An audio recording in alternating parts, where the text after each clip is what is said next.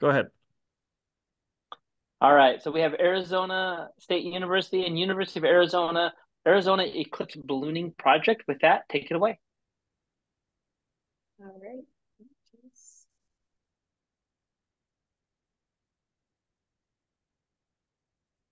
Okay.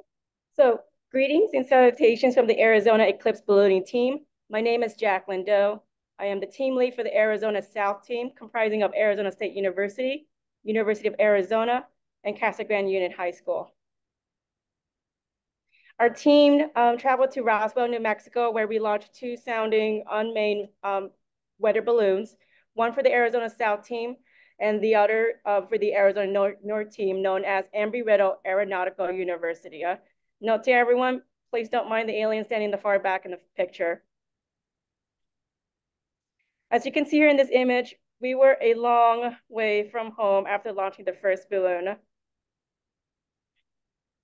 Our original plan was to launch both balloons back to back, Arizona South at 9.40 a.m. Mountain Daylight Time, and 15, minute, 15 minutes later, Arizona North at 9.55 a.m. For the second balloon, we increased the gas bill from 120% to 130% to ensure the out expected altitude anywhere between 75,000 to 80,000 reach at maximum totality at 10.41 a.m. Both our teams had all the payloads tied in an hour before the launch time.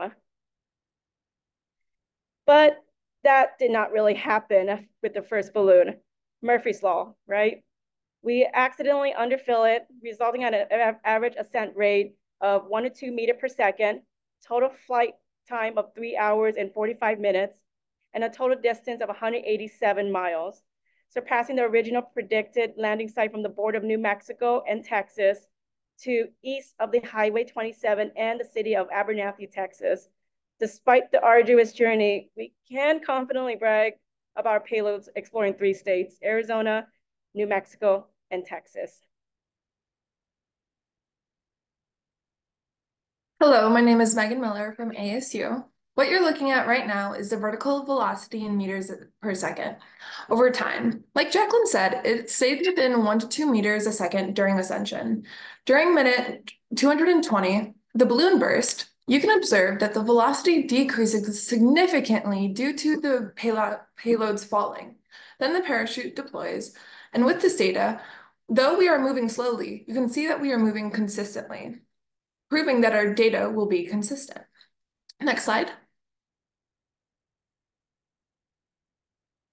This is showing the gyroscope on the z-axis, displays the spin of our payloads. This shows that the RPM of our payloads is around two to four revolutions per minute. This shows the stability of our payloads. Before the burst was consistent. One other thing that I would like to note is that the average g-force is around 16. Though it's not shown in this data, it's important to note this effect. Next slide. Hello, my name is Ricardo Ontiveros, and I'm from the I'm from Arizona State University. This is a chart of our atmospheric data from our pterodactyl sensor board. As you can see, there is a relationship between temperature, pressure, and altitude. As our balloon ascends, it first crosses through the troposphere. Here, the temperature and pressure steadily decrease as we climb. However, once a balloon begins to enter the stratosphere, we see something that's a little counterintuitive. The temperature in green actually begins to increase, this is due to an increase in the absorption of ultraviolet radiation by the ozone layer.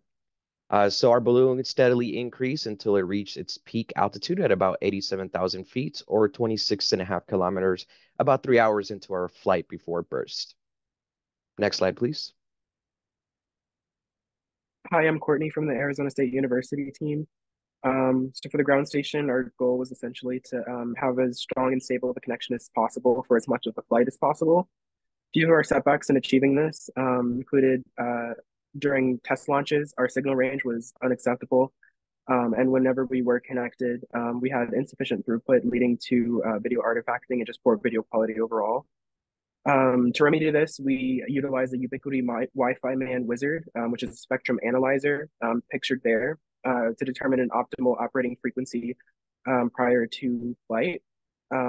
this helped to make sure that we uh, uh, we're choosing a frequency that wasn't so crowded um, so that we can get uh, stable video. Um, and then we also increased our tracking precision make sure that the dish was pointed um, as squarely as possible at our payloads. Um, the outcome of uh, these solutions um, led to a dramatic increase of uh, connection duration and uh, primarily clean, stable video. Next slide. Uh, hello, my name is Krista Lopez, and I'll be presenting on behalf of the ASU mechanical team about our current payload housings.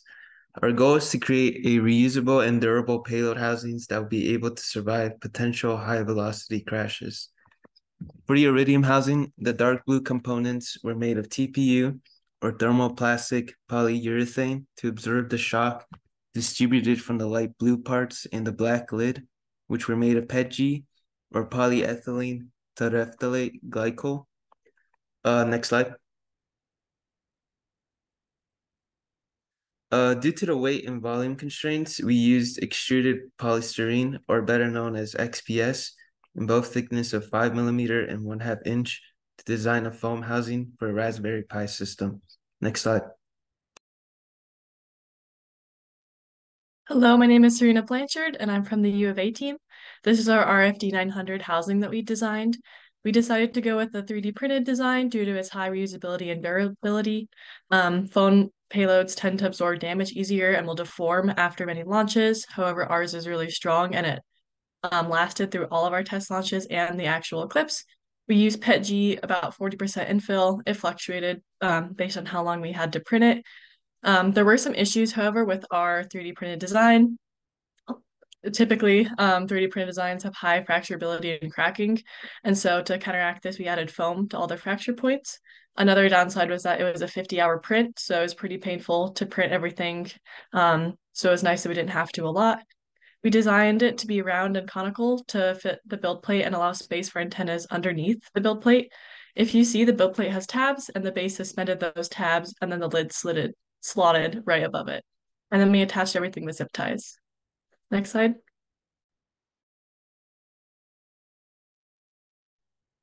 Hi, my name is Andrew. I'm with the U of A mechanical team. For the um, pterodactyl, we had a square build plate. So we designed a square housing for it.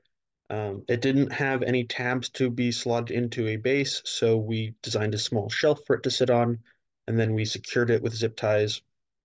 Those zip ties were then slotted into and covered by the foam that we put around all the fracture points. Um, we also included a small base below the build plate for the battery that also doubled as a possible um, impact absorption area. Um, with the lid not being able to slot into the bottom, we um, only connected it with zip ties. And when we did in, um, encounter fracture issues, um, the only part that would generally come apart was if it wasn't the tie-in points was the lid would come detached. Next slide, please. Hi, I'm Mohammed from the ASU team. Over the course of the integration and testing, members of the Arizona Eclipse team, with the help of Desiree, also made sure we gave back to the community by teaching the orbital science behind solar eclipses and their implications. This is the list of universities that we reached out to. Uh, we also held engaging presentations and demonstrations using our hardware. Our most successful presentations were inspiring the students at the Eastern New Mexico University the day before the launch of the annular eclipse and the ASU crowd at the viewing party on the day of the launch. Members of the School and of Earth and Space Exploration at Arizona State University also assisted us. Now I have my teammate Emily, who set up the viewing party to share more information. Yeah, I'm Emily Addison from ASU, and I helped lead the Eclipse viewing party on October 14th here at ASU. Um, like I mentioned, this was a really successful event thanks to our collaboration with other ASU clubs and organizations.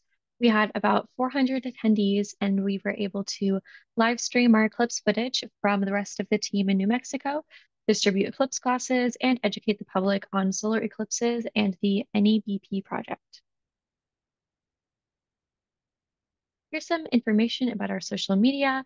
We're active on Instagram, YouTube, and Facebook, so please check us out. Our Instagram is AZ Eclipse Ballooning. We'd love to connect with you, especially the other NEBP teams. So moving forward, um, as we're getting closer to the total eclipse launch, uh, we're going to start implementing the mechanical vent system as we did fly earlier for the annular eclipse. Uh, we're going to improve on the lift precision, making sure that it will not have an arduous um, three hour, 45 minute long um, flight. And last but not least is optimized video quality. And we would like to thank um, the Stratospheric Ballooning Association, National Eclipse Ballooning Project, and also our mentors from Arizona State University, um, University of Arizona, uh, Casa Grande Union High School, Embry-Riddle, Arizona Near Space Research, and also Arizona Space Grant Consortium. Thank you very much, and please follow us on Instagram at AZ Eclipse Ballooning. And that concludes right. presentation. Very nice. Thank you. Any questions? We've got a couple minutes. Yes, I have, I have a question. A, what kind of I've, inertial measurement unit were you using to uh, uh, determine the ascent rate, descent rate, uh, rotation about the z-axis? You know? Could you repeat the question? Sorry. Yes, you're using an inertial measurement unit, an IMU, I assume, to uh, determine the ascent rate, the descent rate, I noticed you had rotation about the z-axis. Uh, can you comment on what you used? You know? I believe so, that was on the pterodactyl board. Uh, Megan, maybe probably you know the specifics. Yes, this was in inertial measurement on the pterodactyl board. This was oh. taken the straight data from what we were gotten. Um, but for the vertical velocity, that was determined from the altitude as our vertical velocity data was like corrupt. Um, when it was plotted, it was just a little wonky. So we derived it from the altitude. Oh, okay. And just to jump in very quickly, we, we did wind up using a LSM 9DS1 accelerometer. So there's three axis of motion. Um, it's just a typical one uh, from, from Adafruit is what we use on our pterodactyl board. Okay, thank you. Very nice talk have a quick question. There was another question. Yeah, go ahead, Bill. Um, you have to be careful with those low ascent rates. Um, I had a, I launched a balloon for a student team in um, Al Alabama, and after I weighed the payloads, another student hooked another one on that I wasn't aware of. And when we launched it, we went up at one meter per second and uh, it went 700 miles downrange took six hours and landed in the atlantic ocean so uh, thank, thank you for the recommendation and it is it is possible to intentionally float a latex balloon with the same technique uh, if it's a 1200 gram balloon or bigger and uh, lightweight payload under about a half pound. If you go up uh, one meter per second or less it will float. Yeah so we um we did our lift calculation correctly. However, when we attached the weights um, to the, the, the neck of the balloon, just to make sure that we have enough lift, we were mistaking the half a pound weight plate for a pound weight plate. So that altered a lot immensely. And when we saw, um, yeah, our ascent rate was going up, we are like, oh no, it is a floater. And we were nervous that it would be traveling not only to Texas, but probably another state over. But thankfully it, it stopped in Texas. And good thing we had when we found out our sandwich was like going really slow. We already have recovery team on route heading um heading east of Texas. And we didn't wait for like the balloon to burst and then start retrieving the payloads. Yeah, we've had several go 800 miles or more uh, on a latex balloon. so that that is epic. So you you beat us in a way. So how high was it when the eclipse actually came by? That was not labeled on the altitude graph. Correct. So it actually went up when totality happens um, at maximum about 22,000 feet. Um, we, we were nowhere in the stratosphere as we were hoping, like as I say, 75,000, 80,000 feet. So a note from Angela in the chat, this is for everybody actually, and that is when you do outreach, fill out her form. She's trying to keep records oh. of who's doing it, what outreach. And I think she's very pleased with what she's been hearing. Perfect. We'll do. We'll get it. Um, we'll get some documentation. Um, I remember that link that you guys sent out to us.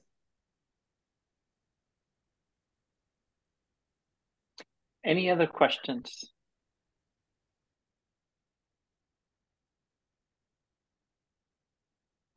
Okay. Um, great job. Uh, thank you so much for the presentation. And uh, yeah, thank you.